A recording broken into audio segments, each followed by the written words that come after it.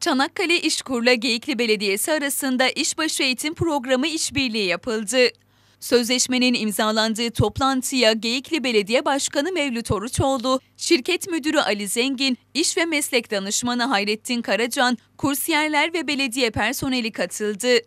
Sözleşmesinin imzalanmasının ardından konuyla ilgili bir açıklama yapan Geyikli Belediye Başkanı Mevlüt Oruçoğlu, İşbaşı eğitimi programına katılan kursiyerlere program süresince belediyecilik hizmetleri ve mesleki konularda eğitim verilerek deneyim kazanmaları sağlanacağını, program bitiminde katılımcıların en az 6 ay süreyle istihdam edileceğini, desteklerinden dolayı Çanakkale Çalışma ve İş Kurumu İl Müdürü Mehmet Uğur Yavuz'a ve kurum personeline teşekkür ettiklerini belirtti.